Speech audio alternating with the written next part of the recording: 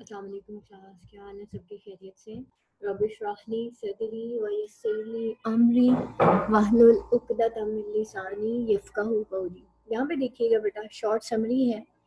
The poet open, opens with the question how a gentleman and a lord has committed a terrible outrage against a gentle lady. Starting में ही जो है question जो है वो एक जो पोइट है वो स्टार्टिंग में ही एक क्वेश्चन पूछता है कि किस तरीके से एक जेंटलमैन ने, एक जेंटल लॉर्ड ने और जो है, एक लेडी को जो है, एक टेरिबल आउटरीच में डाल दिया। वट वॉज़ दिस ऑफेंस ऐसा उसने क्या गुनाह कर दिया कि वो जो लड़की थी, वो जो जेंटल लेडी थी, वो has committed a terrible outreach against a gentle lady के वो जो जेंटल लेडी जो है, वो जो है, इतना ज़्यादा चीखी, आखिर उसका कसूर क्या था? Why did it incite such anger in the lady ऐसा क्या किया उस लॉर्ड ने कि उस लेडी के अंदर इतना गुस्सा था? Why women in question is name Belinda sorry the women in question is name Belinda और वो जो लड़की थी जो कि इस क्वेश्चन में जिसको नाम दिया गया वो बेलिंडा थी। She is sleeping late one day in her London home वो एक दिन जो है बहुत देर तक सोई हुई थी लंदन में, अपने घर में।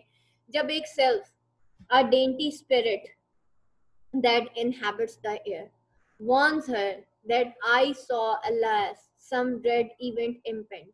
ठीक है उसने जो है वो एक जो है सुबह जब वो जो लेडी थी वो लेट ऑर्स में सो रही थी अपने लंदन होम में तो एक जो है स्पिरिट एरी स्पिरिट एक डेंटी स्पिरिट जो है वो हवा पे छा जाता है और इनहेबिट्स द एयर उड़ता हुआ कहीं आता है और उसको वार्न करता है कि मैंने एक dread event impend मैंने कुछ dread event यानी कि कुछ नहूसियत देखी है कुछ uh, जो है ऐसा इवेंट है जो कि तुम्हारी ज़िंदगी में शायद आने वाला है जो कि तुम्हारी ज़िंदगी पे छाने वाला है The self-named Ariel does not know what this event is or where or how it will manifest itself.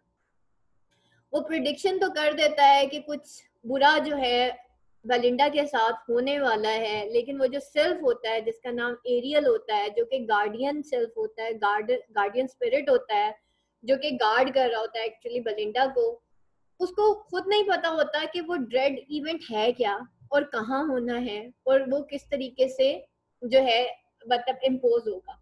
But he does tell Belinda to be on guard against the miss mechanisations of man और वो जो है मैकानेशन of man यानी कि मर्दों की जो चलाकियाँ हैं, उनकी जो अयारियाँ हैं, वो जो है बलिंडा को बस ये बता देता है कि तुम अपनी हिफाजत करना, इन चलाकियाँ, ये जो मैन जो है, अपनी चलाकियाँ जो करते हैं, तुम इनकी चलाकियों से कहीं बची रहना अदरवाइज़ जो है तुम्हारा नुकसान हो जाएगा। यानी कि तुम्हारा जो मेन दुश्मन है, वो मैन है, जो कि तुम्हारे खिलाफ कुछ करेगा। तो इस वजह से तुमने उसकी मैकानेशन पे, उसकी चलाकियों पे, उसके धोखेबाजी पे तुमने नहीं आना। We see that Belinda rises and prepare herself for a social gathering sitting before a mirror and prettying her and prettying herself with puffs and powders and scenting herself with all Arabia अब हम देखते हैं कि Belinda जो है वो उठ जाती है और वो प्रिपेयर करती है अपने आप को एक सोशल गैदरिंग के लिए। एक मिरर के सामने वो तैयार होती है। अब दिखाया इसके अंदर ये जाता है कि औरतें जो हैं, खातन जो हैं, वो कितना टाइम वेस्ट करती हैं एक मिरर के आगे। ठीक है, एक फ़ंक्शन होता है जस्ट वो इस वजह से लेट हो जाता है क्योंकि खातन को तैयार होने में बहुत ज़्यादा टाइम लगता है। Actually we are just mirror conscious ठीक है, हम इतना कैमरा कैमरा कॉन्शियस अब तो खैर मिरर की भी बात नहीं आ गई। अब तो बात पहुँच गई है सेल्फियों तक। We are just a selfie conscious ठीक है, कि हम कितने अच्छे लग रहे हैं, कितने खूबसूरत लग रहे हैं। उसके बाद चाहे वो लड़के हैं या वो लड़कियाँ उन्होंने उस सेल्फी को फिर अपनी डीपी पे भी लगाना होता है, ठीक है, ताकि पूरी दुनिया को पता चल जाए कि भाई हम बहुत ही कोई खूबसूरत किस्म की मखलूक हैं और actually we are selfie selfie conscious हो गए ना? फिर तो हम कैमरा कॉन्शियस हो गए पीपल कॉन्शियस हो गए कि लोग हमारे, फिर उस डीपी के ऊपर कमेंट्स आ रहे होते हैं लोगों के और और एक टाइम वेस्ट शुरू हो जाता है। वो comment and the comment comment and the comment then answer then comment और उसके बाद वो एक फजूल किस्म की गॉसिप जो है, उस डीपी के ऊपर स्टार्ट हो जाती है। तो वी सी दैट बलिंडा जो है, वो उसी तरीके से राइज होती है, उठती है लेट मॉर्निंग और अपने आप को प्रिपेयर करती है एक सोशल गैदरिंग के लिए और वो एक मिरर के सामने बैठती है और अपने आप को प्रिटी करती है यानी कि पफ्स और पाउडर्स के साथ and scenting her with all Arabia और अपने तमाम खुशबुएँ ऑफ़ अरेबिया जो है वो लगाती है Afterward, she travels up the Thames River to site of the social festival. फिर जो है वो ट्रेवल करती है थेम्स रिवर पे ताकि वो उस सोशल फेस्टिवल तक पहुँच सके जो कि हैम्पटन कोर्ट में है. The great palace on the north bank of the river that in earlier times was home to King Henry eight जो कि होम था कभी हेनरी एट का, वो एक ग्रेट पैलेस है on the north bank of the river ठीक है थेम्स के नॉर्थ बैंक के ऊपर ये जो हैम्पटन कोर्ट है, ये बना हुआ है. और जो कभी जो है किंग हेनरी एट का जो है एक पैलेस हुआ करता था, ये वही किंग हेनरी एट है वाइट वाला. ठीक है? और as she sits in the boat जैसे ही वो बोट में बैठती है fair nymphs and well dress youths around her shone तो जैसे ही वो बोट के ऊपर बैठती है तो फियर नेम्स जो हैं और वेल ड्रेस यूथ्स जो हैं अराउंड हर शोन यानी कि उसको देखना शुरू कर देते हैं। But every eye was fixed on her alone लेकिन हर आई जो है, उसके इर्द गिर्द बहुत से सॉरी बहुत से फेयर नेम्स और वेल ड्रेस यूथ्स जो है, वो भी शोन कर रहे होते हैं, यानी कि वो भी फुली तैयार होते हैं। और आप देखें कि एक शादी का मंजर देखें, वो खाली दुल्हन पार्लर से तैयार नहीं होती, सारी दुनिया तैयार हुई होती, समझ नहीं आ रही होती इसमें से दुल्हन और दूल्हा कौन है? कि नहीं है? और उसमें जो है but every eye was fixed on her alone लेकिन हर आई जो है ना, वो जो है फिक्सड होती है उसके ऊपर। अब सिर्फ़ स्टेज पे पता चलता है कि जो सबसे ज़्यादा सारी बहुत ज़्यादा तैयार हुए होते हैं लेकिन वो जो स्टेज पे एक कपल बैठा होता है फिर पता चलता है अच्छा वो जो सोफे वाले हैं ना वो दूल्हा दुल्हन है बाकी सारे वैसे ही तैयार होके आ गए। तो यहाँ पे आप अंदाज़ा करें कि हर वहाँ पे जितने भी लड़के और लड़कियाँ थे आ, वो जो है जिसे कहना चाहिए कि हर तरीके से हर बंदा ही तैयार हुआ हुआ था वो शाइन कर रहा था लेकिन सब हर आई जो है वो बलिंडा इतनी खूबसूरत लग रही थी कि हर आई बलिंडा के ऊपर फिक्स थी in other word she was beautiful beyond measure और अगर दूसरे अल्फाज में देखा जाए तो वो जो है, बहुत ज़्यादा खूबसूरत थी, हद से ज़्यादा खूबसूरत थी. She smiled at everyone equally and her eyes, bright suns, radiant, radiated goodwill. वो जो है, हर किसी के सामने स्माइल कर रही थी, हर किसी को स्माइल इक्वली पास कर रही थी और उसकी जो आईज थी, वो इतनी ब्राइट थी, यानी कि सन की लाइट की तरह ब्राइट थी सन रेडिएटेड गुडविल और वो रेडिएट कर रही थी गुडविल को। Specially endearing to anyone who looked upon her were her wondrous dresses और स्पेशली uh, हर कोई जो उसकी तरफ़ देख रहा था वो उसके वंडर स्ट्रेसेस स्ट्रेसेस कहते हैं उसकी जो लटें थी उसकी वंडर स्ट्रेसेस को हर कोई देख रहा था। अब यहाँ पे आप देखें कि नॉर्मली जब हम तैयार होके कभी भी बाहर जाते हैं स्पेशली जो खातन होती हैं, हमारे हस्बैंड्स को पता है हमसे क्या एतराज़ होता है? वो क्यों सड़ जाते हैं एकदम से जब हम लोग बाहर से आते हैं? होता ये है कि जब हम औरतें घर में होती हैं ना, हम बहुत सड़ियल होती हैं। जैसे ही हम बाहर निकलती हैं, हमारी स्माइल्स और हमारी हँसी और हमारी हर चीज़, हमारा even makeup and each and everything that looks just perfect तो जब हस्बैंड जब घर आते हैं ना, उनको एक ही मसला हो रहा होता है, देखो तुम बाहर तो इतना हंसती हो। लेकिन जब तुम घर आती हो, इतना सड़ के जाती हो एक्चुअली फिर बात वही आ गई ना कि हम लोग पीपल कॉन्शियस होते हैं। तो यहाँ पे वही बेलेंडा का एक उसका टू फेस्ड एक वो दिखाया जा रहा है कि वो जब बाहर निकलती है इक्वली सबको स्माइल पास करती है। और घर में हमारा क्या होता है अंदाज? सेम एज द केस वो बच्चा अभी घर आएगा नहीं, आ गया मेरा दिमाग खाने। भाई ये तो अब तीन महीने की छुट्टियाँ आ गई, ये तो अब मेरा दिमाग खा जाएँगे बच्चे। हम इस तरह के रिमार्क्स अपने बच्चों को पास करें। ठीक है? और सेम इज़ द केस जैसे ही हस्बैंड घर में एंटर हुआ और हमारे मूड ऑफ़ हो जाते हैं बालों का, कि बस जी, आज तो सुबह से बच्चों ने बड़ा काम किया था। और जब कोई मेहमान आए आए जी, आए, आप ही का तो इंतज़ार था। ठीक है, आए, मैं आपको चाहे बच्चे आए, आगे हो दिमाग खाने, अब तुम्हें रोटी भी देनी पड़ेगी। तो दीज आर द थिंग्स कि जो कि यहाँ पे वो रेडिएट कर रही है goodwill to everyone but in fact जो है लेट सी के वो गुडविल उसकी कहाँ तक बरकरार रहती है. स्पेशली जो है, हर कोई जो है उसकी ट्रेसेस वंडर स्ट्रेसेस की तरफ़ देख के बड़ा इंस्पायर हो रहा था. This nymph to the destruction of mankind nourish two locks ये जो निम्फ निम्फ कहते हैं कंवारी खातून को, कंवारी खूबसूरत खातून को to the destruction of mankind mankind की डिस्ट्रक्शन के लिए, जो पैदा, उसने मैन काइंड की डिस्ट्रक्शन के लिए उसने नॉरिश की थी टू लॉक्स दो लटे उसने नॉरिश की थी, यानी कि दो लटें जो है, उसने बड़े तरीके से उनको स्टाइल दिया हुआ था which gracefully hung behind in equal curls जो कि उसके पीछे इक्वल कर्ल्स में लटकी हुई थी and well conspire to the deck with shining ringlets और वो जो है, आपस में एक दूसरे से कंस्पायर कर रही थी। With shining ringlets the smooth ivory leg और उनके जो शाइनी रिंगलेट्स थे, उसके आइवरी नेक पे यानी कि उसके फेयर नेक के ऊपर, उसकी गर्दन के ऊपर, वो बड़े शाइनिंग रिंगलेट्स की तरह लटक रही थी।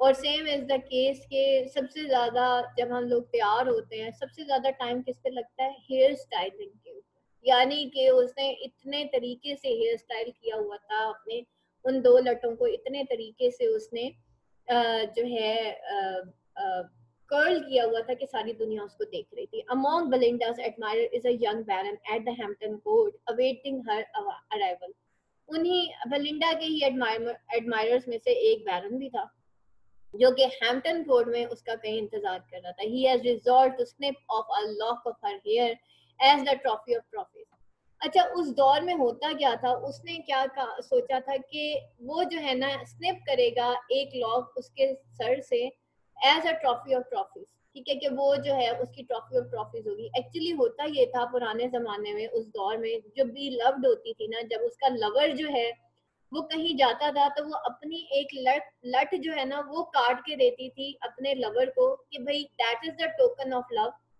और वो फिर अपने हाथ पे उस लट को, अगर आपने जॉन डन की पॉइंट्स पढ़ी हो ना उसमें बकायदा उसने उस लट का ज़िक्र भी किया हुआ है, जो उसकी बिलव ने, यानी कि उसकी वाइफ ने उसको दी थी।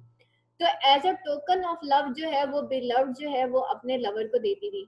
अब बेलिंडा क्योंकि उसने बैरन को रिजेक्ट कर दिया था, इसलिए वो Belinda is not her beloved his beloved ना।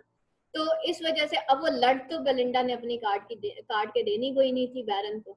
तो उस दौर में क्या होता था कि लड़के जो हैं, वो जस्ट लड़कियों को छेड़ने के लिए जो है, एक लट काट के अपने हाथ के गिर्द बाँध लेते थे और कहते थे कि ये मेरी बिलव फलानी बिलव ने जो है एज कि जी हमारी एंगेजमेंट हो गई है तो इस वजह से उसने मुझे अपनी लट काट के दिया। तो अब क्योंकि वो उसने उसको इनकार कर दिया था तो दैट्स वाई जो है, यहाँ पे ट्रॉफी ऑफ़ ट्रॉफीज क्या थी, वो लॉक यानी कि ये लड़कों के लिए बहुत ज़्यादा इम्पोर्टेंट होता था कि उनके पास उनकी जो बिलव्ड है, उसकी एक लट होनी चाहिए।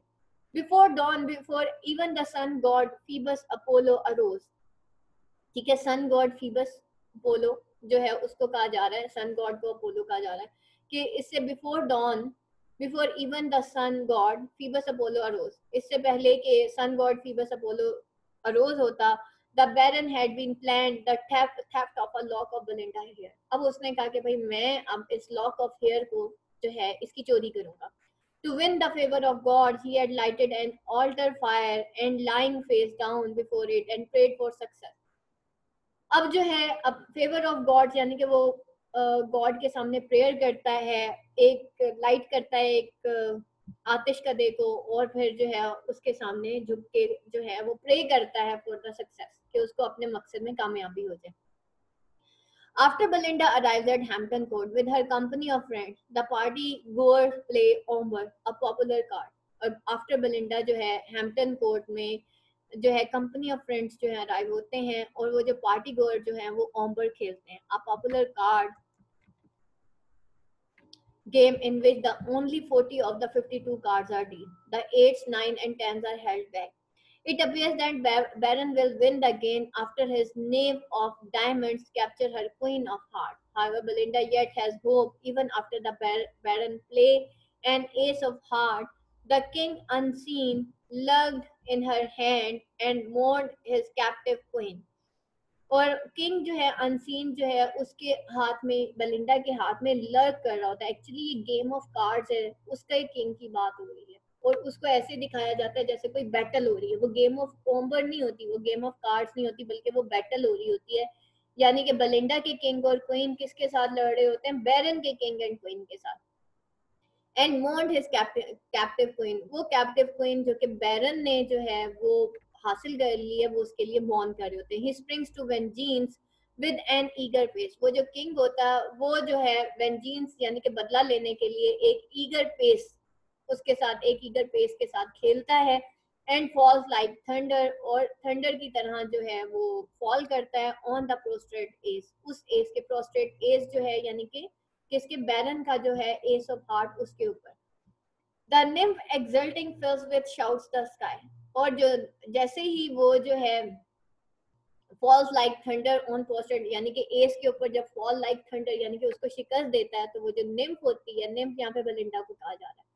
जो निम्फ होती है एक्सल्टिंग फिर विद शाउट द स्काई यानी कि फिर बलिंडा को जो है बलिंडा जीत जाती है और उसकी जो चीखें होती हैं, वो पूरे आसमान को भर देती हैं।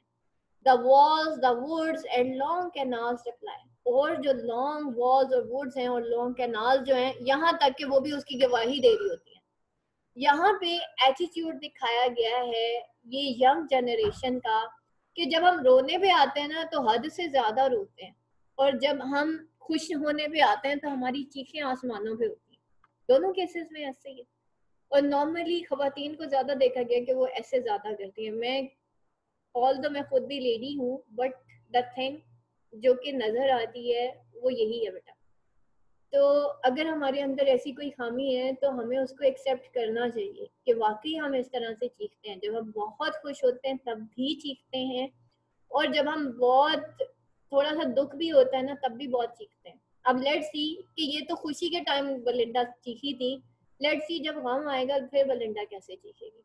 तो दोनों एक्सट्रीम्स पे हम लोग छोटी छोटी बातों पे खुश भी बहुत जल्दी हो जाते हैं। छोटी छोटी बातों पे नाराज़ भी बहुत जल्दी हो जाते हैं। ठीक है? तो बलिंडा हमारे लिए और सेम एज द केस आजकल बच्चे मोबाइल्स पे खेल रहे होते हैं। वो जब जीतते हैं, उनकी चीखें आसमानों पे होती हैं। पूरे घर के अंदर पता चल रहा होता है कि बच्चा जीत गया, ठीक है?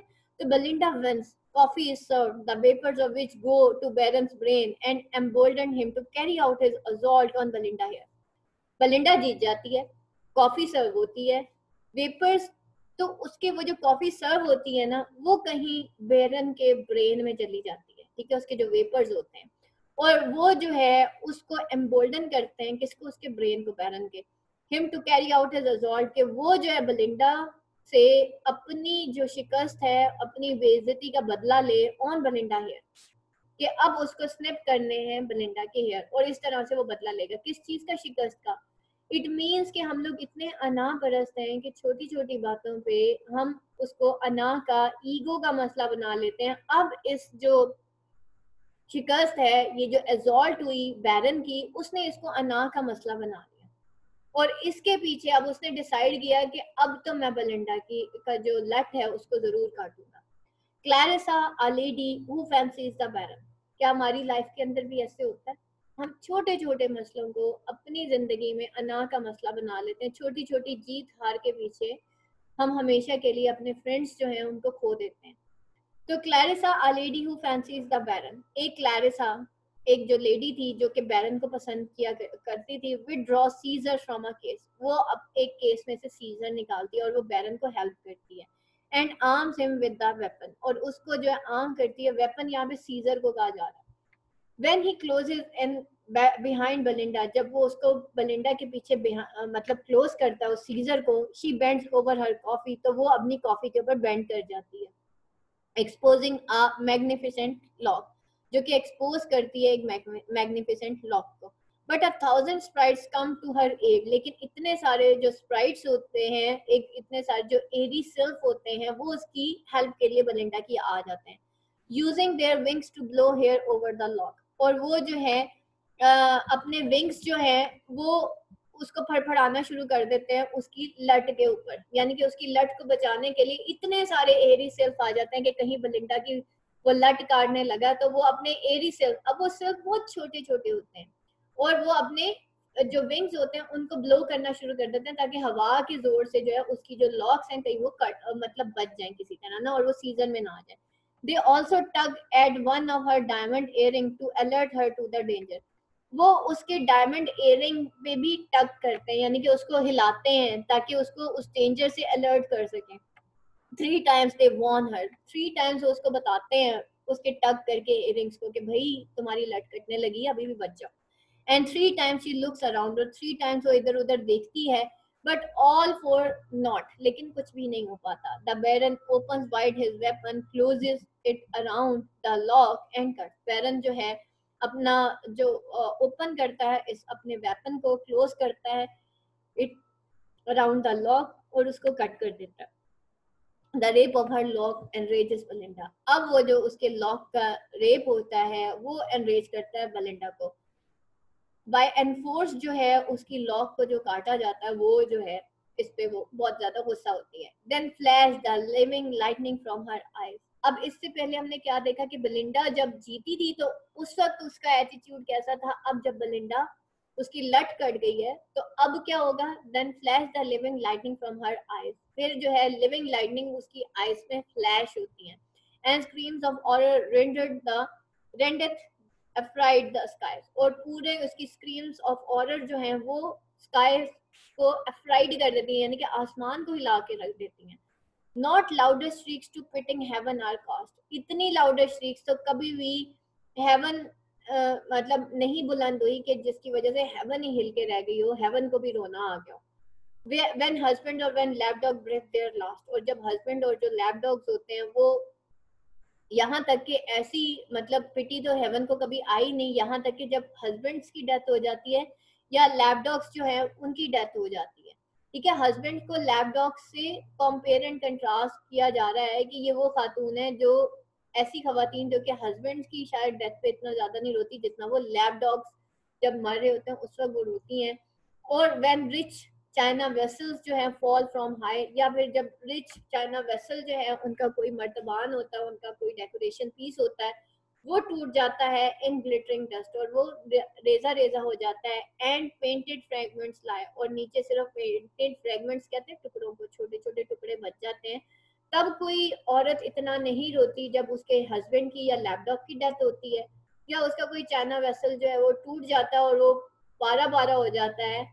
तो इतना तो कभी किसी की चीखें नहीं निकली होंगी, जितनी बलिंडा की उस लॉक के कट जाने पे निकली A norm named Umbriel descend to the underworld on Belinda behalf. अब जो है एक और स्प्राइट होता है वहाँ पे, एक एरी सेल्फ होता है जिसका नाम होता है नो ठीक है? वो जो है उसका नाम अम्ब्रियल होता है और वो डिसेंड कर जाता है, वो अंडरवर्ल्ड जाता है बलिंडा के बिहाफ पे और ऑप्टेन करता है एक bag of sighs and vial of tears from the queen of spleen और एक बैग ऑफ़ साई आहों भरा बैग एक vial of tear from queen of spleen से वो लेता है। With these magical gifts he means to comfort poor Belinda और इन मैजिकल गिफ्ट्स के साथ वो जो है कंफर्ट करता पुअर बलिंडा को। First he empties the bag on her a gentleman named Sir Plume एक जेंटलमैन जिसका नाम सर प्लूम होता है prompted by his ally Thalestris a friend of Belinda और एक जेंटलमैन होता है जिसका नाम सर प्लूम होता है, वो प्रॉम्प्ट करता है अपनी वैली को, उसका नाम थैलेस्ट्रिस होती है, जो कि अ फ्रेंड ऑफ़ गलिंडा होती है, और then rouse roundly scolds the Baron of his grave offence और वो जो है, फिर उसको राउंडली स्कोल्ड करता है, करती है थेलेस्ट्रिस जो है ऑफ़ हिज ग्रेव ऑफेंस के उसने ये कितना बड़ा गुनाह कर दिया। बट बैरन इज़ अनरिपेंटेंट लेकिन बैरन जो है, वो टोटली अनरिपेंटेंट होता है, और उस पर इस तरह की कोई मतलब वो एक कान से सुन के दूसरे कान से निकाल देता है। Umbriel then empties the vial on Belinda Umbriel जो है वो जो बोतल लेके आता है ना, आहों की और सिस्कियों की और आंसुओं की, वो बलिंडा के ऊपर उल्टा देता है। अब जो है ग्रीफ ओवरकम्स हर अब ग्रीफ जो है वो उसके ऊपर ओवरकम कर जाता है। And normally that is the situation normally बेटा इस तरह की जो अचानक से हमारे अंदर एक इमोशनल चेंज आता है, वो आप लोगों को कॉमन देखने में मिलता होगा। और मैं एक और चीज़ आपको बताऊँ, ये जो स्ट्रेस लेवल्स होते हैं ना, औरतों के कहीं ज़्यादा होते हैं एज कंपेयर टू मर्द। मर्दों में ये चीज़ इतनी ज़्यादा नहीं होती। औरतें एक चीज़ को सोचने बैठती हैं, उसके पीछे रो रो के हलकान हो जाएँगी एंड में मसले का हल नहीं होना। रोने से बेटा मसले का कभी भी हल नहीं होता हम लोग क्या करते हैं, इसको बता, उसको बता time waste and then time waste and then time waste कोई फ़र्क नहीं पड़ता। किसी को आपकी स्टोरी से कोई लेना देना नहीं है, बल्कि आप उसको एक स्टोरी बताएँगे, वो अपनी छह स्टोरी खोल के बैठ जाएगी। ये औरतों की आदत होती है। वो आपकी कभी भी नहीं सुनेगी। वो पहले अपनी छह सुनाए कि पहले, यार, मेरी तो सुनो, मेरी तो तुमसे ज़्यादा दुख भरी है। और कुछ नहीं, उसके साथ ना भी हुआ हो, वो आपको ये ज़रूर कहेगी, यार, मेरे साथ भी ऐसे ही हुआ था। तो that is the nature of a women कि वो इतना ज़्यादा मतलब कोई चीज़ दुख ना भी हो और उसको भी दुख बना लिया जाए तो that is really a bad thing और ये तकरीबन 80 परसेंट खवातीन के अंदर होता है। और ये बड़ी बुरी आदत है, ये बड़ी बुरी नेचर है औरत की कि वो इस तरह करती है और grief overcomes her as her eyes half down in tears और ग्रीफ जो है उसको ओवरकम कर जाते हैं यहाँ तक कि उसकी आँखें सूज जाती हैं tears and her head droops upon her bosom और उसका जो हेड है वो अपने बॉसम के ऊपर ड्रूप कर जाता है, झुक जाता है। She says, forever cursed be this detested day. कि जी, ever cursed मैं हमेशा कर्स करती रहूँगी इस detested day को, इस बुरे डे मतलब इसको क्या कहेंगे? बदशगुन डे को which snatched my best my favourite curl away जिसने मुझसे मेरी फेवरेट कर्ल जो है मुझसे छीन ली। Happy ah ten times happy had I been मैं बहुत टेन टाइम्स हैप्पी थी इन if Hampton Court these eyes had never seen अगर हैप्पी को इस हैम्पटन कोड को इन आँखों ने कभी ना देखा होता तो मैं हमेशा ही हैप्पी रहती Clarissa tries to mollify Belinda in her long speech अब क्लैरिसा जो है वो बलिंडा को कूल डाउन करने की कोशिश करती है एक लॉन्ग स्पीच में but fails. A bit of uh, mally ensures when Belinda attempts to retrieve her lost. अब जो है, एक बिट ऑफ़ मैली जो है, एक जंग शुरू हो जाती है जब बलिंडा जो है वो अटेम्प्ट करती है कि उसको अपनी लॉस्ट लॉक जो है वो चाहिए, वापस चाहिए, कि कहीं वो जो बैरन है वो अपने हाथ पे उसको ना बाँध दे तो ये बलिंडा के लिए और भी ज़्यादा इंसल्ट होगी। फ़ैन क्लैप्स अब जो लड़ाई शुरू होती है जंग शुरू होती है फ़ैन क्लैप्स औरतों ने नहीं हाथ में छोटे छोटे चाइनीज़ औरतों ने हाथ में फैंस पकड़े होते हैं तो वो आपस में क्लैप होते हैं, यानी कि उनसे लड़ाई होती है। सिल्क रसल सिल्क यानी कि वो जो खातन ने सिल्क पहनी हुई होती है वो रसल करती है। And tough whale bones crack और वो जो टफ वेल बोन्स होती हैं यानी कि वो जो खातन ने वो उभरा हुआ उभरी हुई मैक्सीज होती है ना जो आपने अंग्रेज़ों की देखी होंगी उनके नीचे वेल बोन्स लगी होती थी ताकि वो एक उसका आ, आ, मतलब फ्रेम बन जाए और वो उठा हुआ लगे।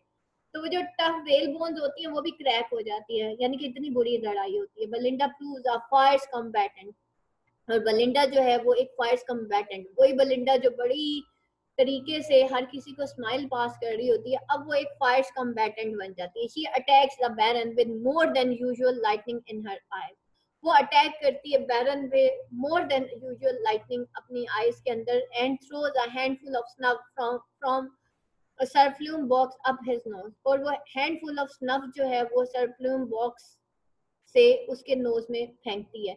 But alas when the battle end the lock is nowhere to be found लेकिन जब बैटल एंड होती है तो लॉक कहीं नहीं मिलती। यानी कि वो जो लट उसने बैरन ने काटी होती है वो कहीं नहीं मिलती। However, the poem ends on a happy note for Belinda. Bob says, because the trim lock of her golden hair has risen to heaven. कि वो जो ट्रिम लॉक है उसके गोल्डन हेयर की वो अब राइज होगी हेवन में there to become a shining star और वहाँ पे वो एक शाइनिंग स्टार बन चुकी है। Central theme of the rape of the lock is the first that high society makes over trifling matter.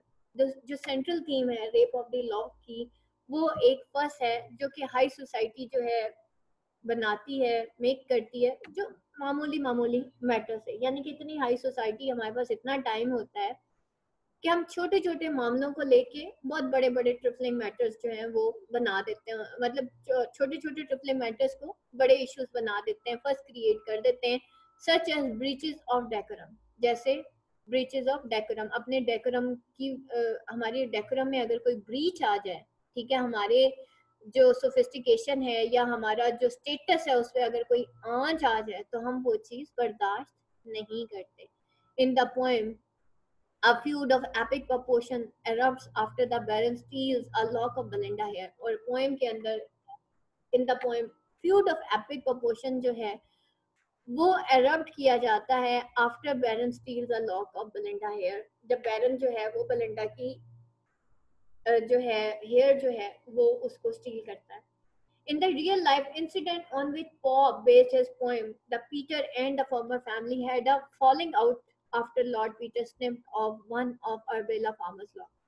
अब रियल लाइफ के अंदर जो इंसिडेंट था ऑन विच पॉप ने बेस की थी ये पोएम पीटर और फॉर्मर फैमिली जो है, उनके दरमियान जो है, बहुत बड़ा फसाद हो गया था जब लॉर्ड पीटर ने अरबेला फॉर्मर की जो लट है, उसको काट डाला था Other themes that Pop develops in the poem include human vanity and the importance of being able to laugh at life's little reversal.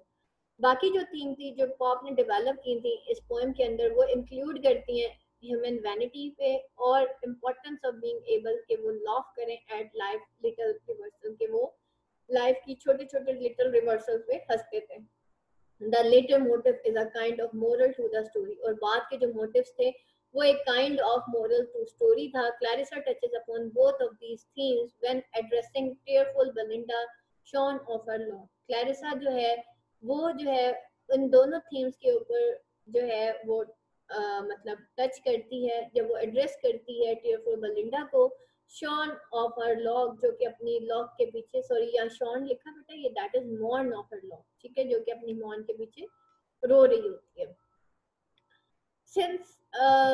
But since alas frail beauty must decay लेकिन आखिरकार जो है, ये जो फ्रेल ब्यूटी है, इसको एक दिन ख़त्म हो जाना कितने हम अपनी जवानी को, अपनी खूबसूरती का, की कितनी केयर करते हैं। ब्यूटी कॉन्शियस है ना? लेकिन बात सारी ये है कि ये जो फ्रेल ब्यूटी है, ये भी एक दिन खत्म हो जानी है। कर्ल और अनकर्ल्ड चाहे हमारे बाल कर्ल्ड है या अनकर्ल्ड है। Since locks will turn to grey वो ग्रे हो जाएँगी, वो वाइट हो जाएँगी। कुछ भी कर लें। आप कुछ भी कर लें। आप चाहे वाइटामिन ई e के कैप्सूल ही लगा लें बालों में। ठीक है, लेकिन वो एक दिन सफ़ेद हो जाएँगे। सिंस पेंटिंग पेंटेड और not painted all shall fade चाहे वो पेंट हो या ना हो, तमाम के तमाम फेड हो जाएँगे। And she who scorns a man must die a maid और वो जो स्कॉन करता है एक मैन को, वो एज अ मेड डाई करता है। एज अ मेड वो जो कि स्कॉन करती है मैन को, यानी कि ऐसी औरत जो कि मर्द को बेइज्जत करती है, वो एज अ मेड यानी कि वो कवारी ही मर जाती है।